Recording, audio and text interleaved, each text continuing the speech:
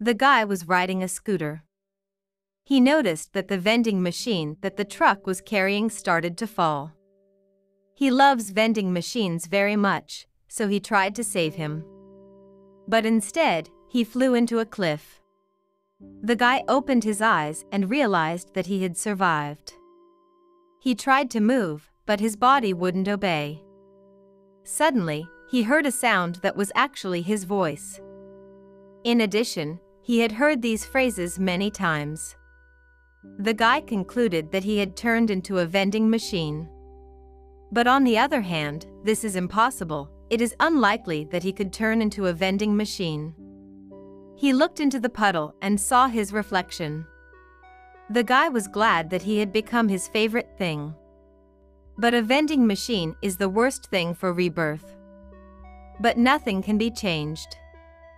The guy began to study his abilities. An assortment of goods came to his mind. As it turned out, he can change this assortment for points. Points can also activate new functions. The guy began to study his functions.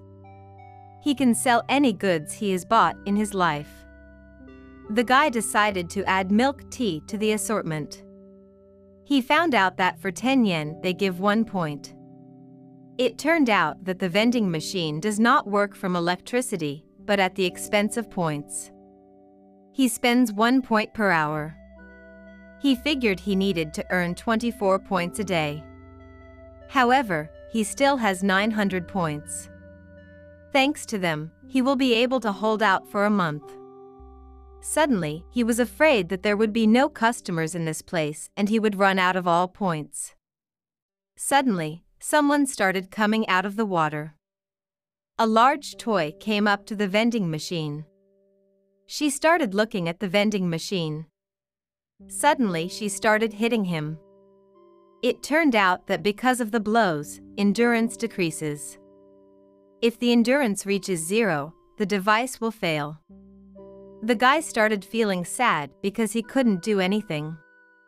Stamina can be replenished for points. The frog started calling someone. As a result, a whole squad of frogs came. The guy started urgently looking for functions that will help him protect himself. At this time, the frogs beat him and reduced his stamina. The guy was lucky and he found the divine protection function. He began to choose what kind of protection he should use. He found the barrier. That's what he needed. Having put up a barrier, he threw all the frogs away from him. The guy began to rejoice at the victory. But he noticed that the points began to be spent quickly. The frogs continued to attack the vending machine. The guy managed to survive. He recovered. He has 300 points left. It's only enough for 10 days, so he needs buyers. Not far from the device, the girl was looking for frogs. She had no strength left because she wanted to eat. She lost her lunch bag. The girl noticed the vending machine and approached it. He made a sound and the girl was scared. She realized that the device gives out products for coins. The guy spent 100 points to sell products for the currency of this world. The currency in this world was called OVA. The girl wanted to eat very much, so she decided to buy something. The device was activated. The girl decided to choose soup. The soup fell out and the girl took it out of the machine. The corn cream soup was very warm. The girl started to open it. The guy was very happy with his first sale. The cream soup turned out to be very tasty. The guy was happy. The girl began to look at other products in the vending machine. She bought tea with milk. She liked him very much too. The girl bought a few more products and the guy was able to earn points. The girl fell asleep. The guy decided to protect her with a barrier, because this is his best buyer. He was even able to take out the trash. The guy thought he was the kindest vending machine in the world. The girl woke up and went to the machine. The girl thanked him and he answered her. She concluded that he could talk. The girl realized that he could only voice phrases. The guy started using one phrase to show his agreement. It turned out that the girl's name was Lamis. She asked for his name, but he couldn't give it. Lamis asked if he was lonely here. The guy agreed. She offered to leave this place and go to her friend who studies magic subjects. The guy agreed. Then she picked it up. Lamis was very strong. She carried him. At one point, she decided to take a break. Lamise was hungry again. She wanted corn soup again. But the guy decided to update the assortment. He added new products. Lamise decided to try the chips. They were very tasty. She couldn't stop. Thanks to Lamis, he earned more points. The guy decided to use the points and lower the price of water. They went on. When they arrived, Lamise placed the device at the guards. She said that the device gives out different goods for money. The Guardian said that the main rule of the dungeon says that the found thing belongs to the person who found it. The guy realized that she was inside the maze on the first level. The Guardian wanted to buy something. Lamise asked the vending machine for permission. He agreed. The guards really liked the food. They bought all the products from the vending machine. The guy was glad that his business was booming. Lamise carried the vending machine on. When she went into the alley, she noticed how the bandits were attacking the girl. She started hitting the bandits. The girl was surprised by Lami's strength. Lamise returned home. Manami hugged her, the hostess was very worried about Lamis. Lamise started talking about the vending machine. She said he was very helpful. Then Lamis decided to take the device to a crowded place. It turned out that Lamis had spent all the money and she couldn't buy a teleport team. Manami said Lamis could work at the hotel and they will leave the vending machine so that it attracts guests. So the guy ended up at the hotel. People really liked the vending machine.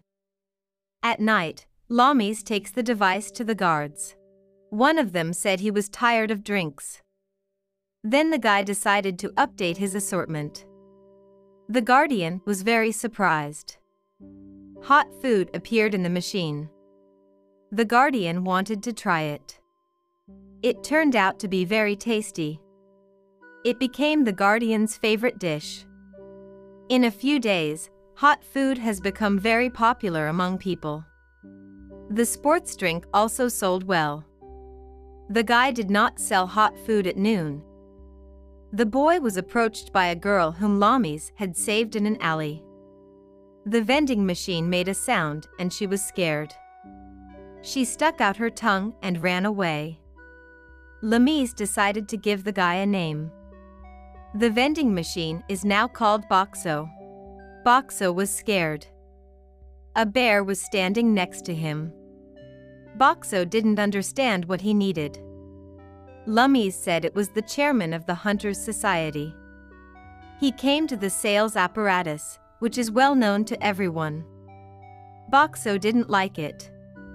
The chairman of the Society of Hunters told about the trip to the Den of Frogs. He wants to take Boxo with him so that he can provide everyone with food on the way. Lamis asked if Boxo agreed. He agreed, because frogs can threaten Lamis as well. Thus, the chairman of the Hunters Society agreed with them and they went camping. The bear said that the main task would be to protect the teleport team. Teleport allows you to move from the underground lake of pure flow to other levels. Boxo was worried that the frogs would be very annoying because they were having a mating period.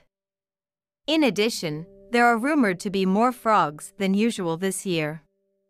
The hunters made a halt. Lamise put on a boxo. a guy came up to her and told her not to worry, because they protect them from frogs. He decided to find out what kind of box everyone is talking about. The hunter decided to buy something. He got a product. He began to examine the bottle and said that such a package could not be drawn by hand. He was also surprised that the packaging could disappear by itself. The taste was great. The hunter asked how the goods were replenished. Lamise said she didn't know, but she had never seen a vending machine empty. Boxo became more and more interested in the guy. Captain Kirio called Philomena. Boxo was surprised that this guy was in charge here. The captain asked what Philomena thought of Boxo. She said she didn't feel the presence of magic. Philomena said that a piece of iron cannot have a blessing of special abilities. But Boxo has divine protection. The captain said he was counting on Boxo. The bear said that it was necessary to wait out the night in the camp. Boxo realized that this was his chance to get regular customers. He added noodles to the assortment because it's cold in the evening and in the morning. The hunters really liked the noodles. One of the customers became a Boxo security guard. Lamise met her. Boxo's new security guard is named Sway.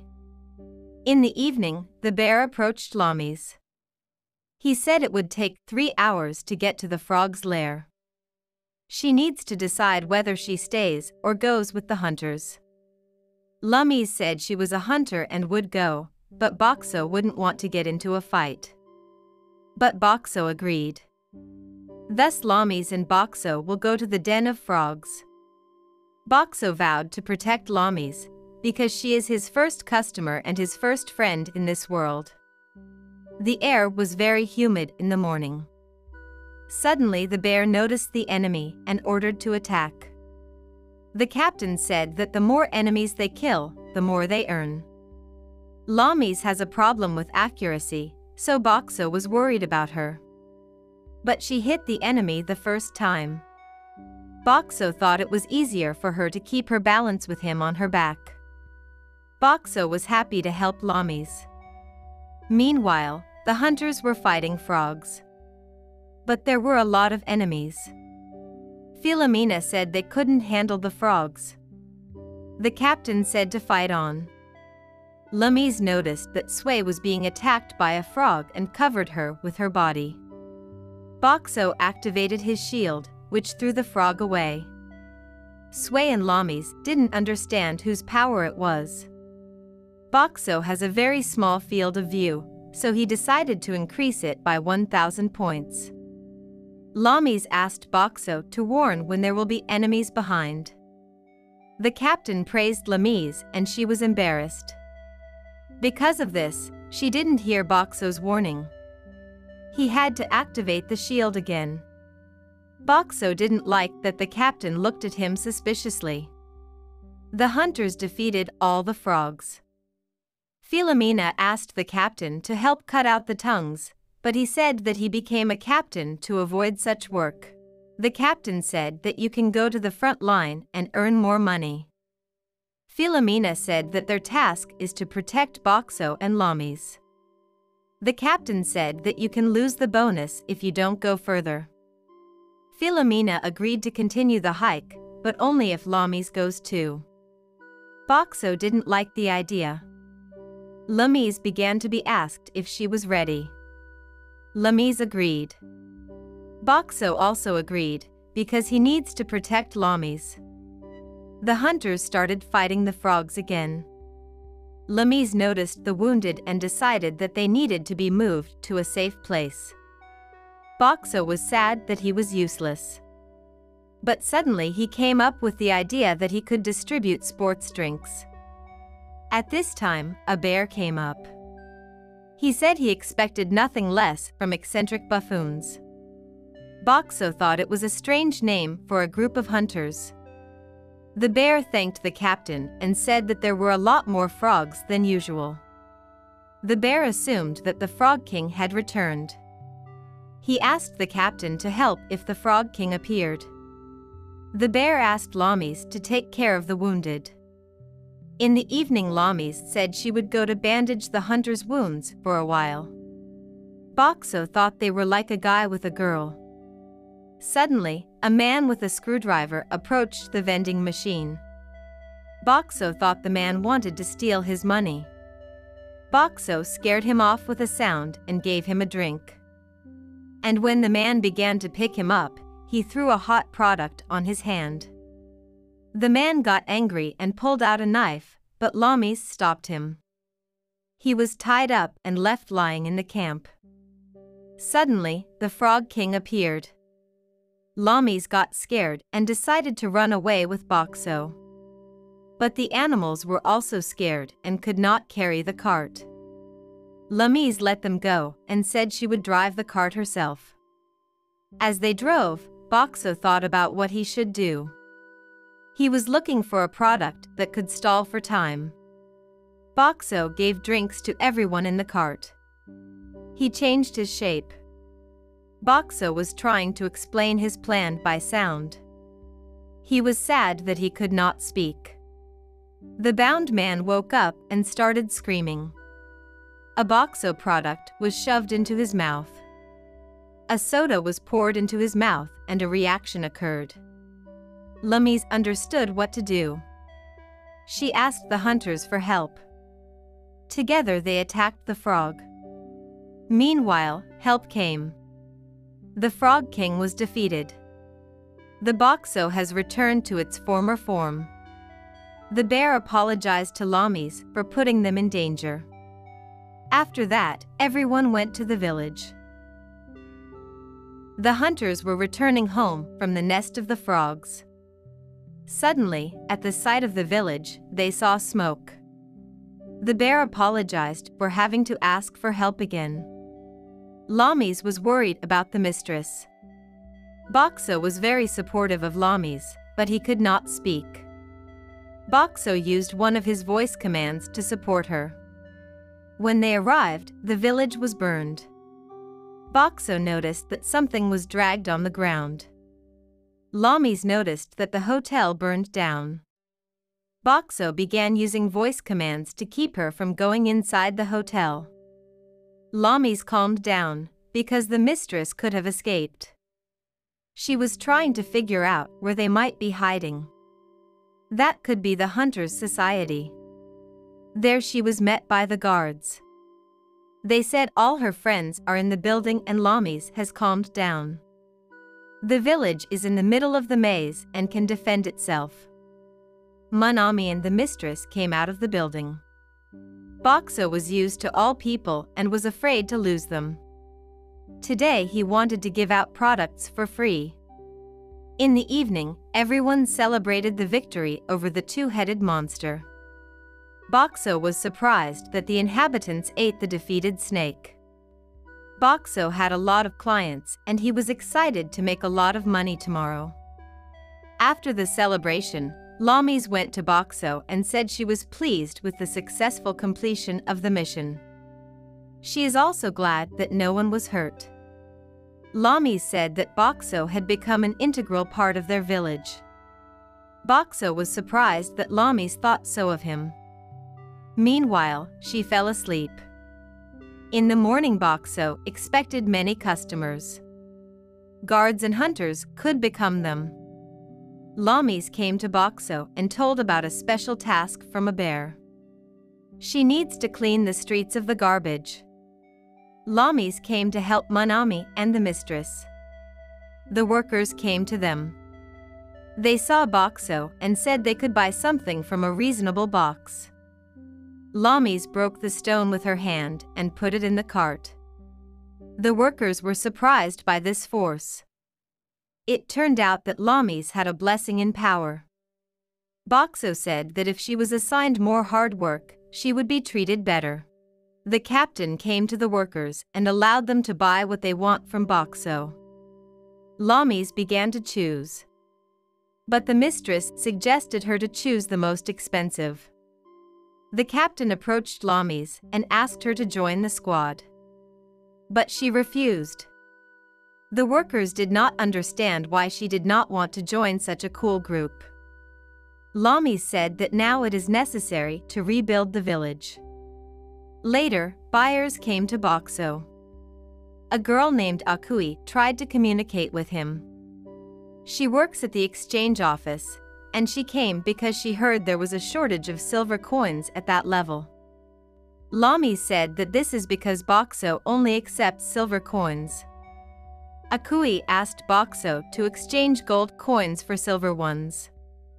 But Boxo did not have this feature. Lamis decided to try something to buy a gold coin.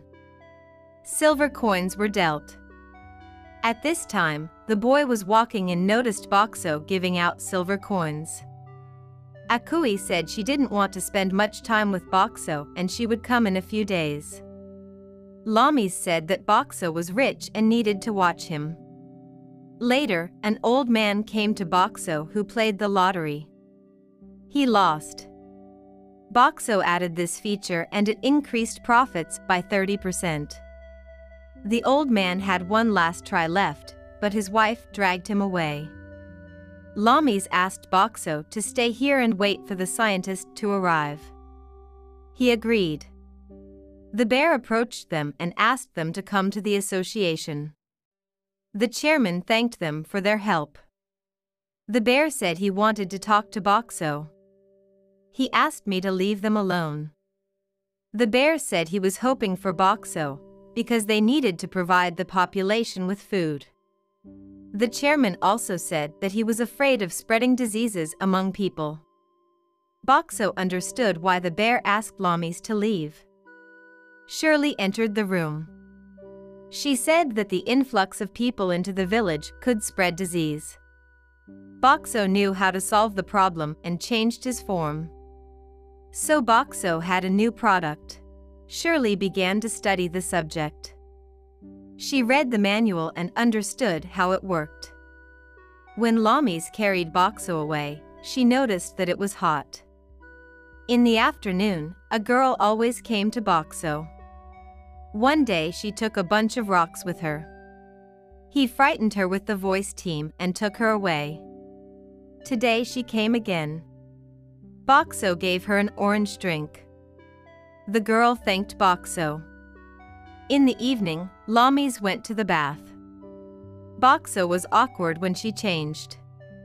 Boxo gave Lamis a liquid hair cleaner. Animals came to the vending machine. They wanted a cleaner for the fur. After the bath Lamis and Shirley drank cold drinks. The old man explained to the girl how the machine works. To win the lottery, you need three identical numbers. At this time, the older daughter is standing next to her and apologizes for the fact that she left the house. Suddenly, the girl wins the lottery. The old man was surprised. The girl gave the old man water. He said that unfortunately the good day was coming to an end. The girl said she was happy to spend the day with her family anyway. Boxo specially staged the lottery to please the girl and the old man. The next morning, a representative came to Boxo.